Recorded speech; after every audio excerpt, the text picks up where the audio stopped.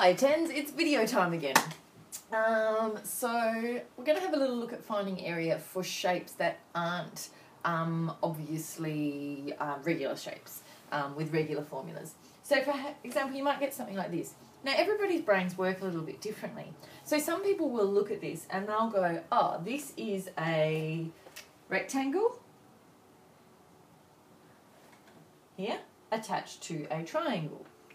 That's one way of looking for things.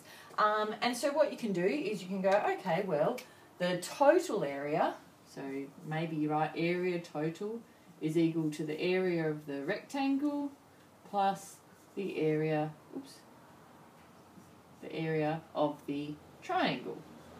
And then you put in your formulas for each one, so you might go length times width plus base times height on 2 or half times base times height. It doesn't matter which formula you use, they work the same. And then you can substitute in, so for this rectangle, length times width is 10 times 6 plus, looking at my triangle, my base, this bit would be 6 because 12 takes 6 would leave me with 6 here.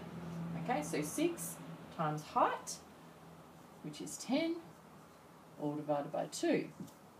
And then I could add those things together. So I've got 60 plus 60 on 2, which is equal to 90. And I've got no units, so we just write units squared, because we're talking area. Alternatively, someone might have looked at it in a slightly different way. They might have looked at it as a big rectangle, subtract a little triangle.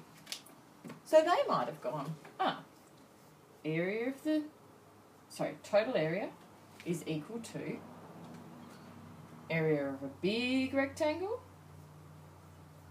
take away area of the little triangle. Did it again. Can't get my pictures right today.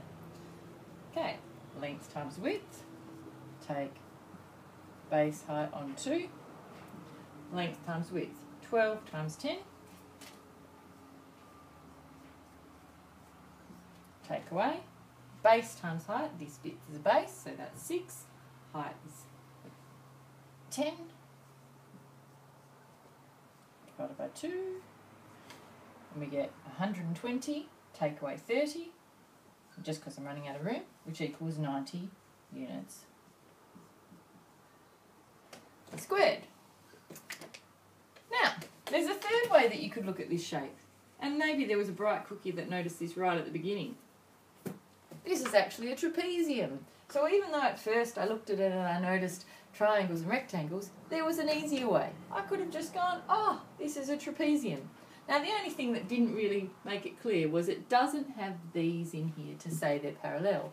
However, because this is a right angle and this is a right angle, they must be parallel. Okay, so the other way of looking at it was to say area of the trapezium is equal to a plus b times height over 2. Now a plus b are always the parallel lines. So 12 plus 6 times the height, and it's always the perpendicular height, all divided by 2 oh, that should, so 18 times 10 is 180, divided by 2 is 90 units squared.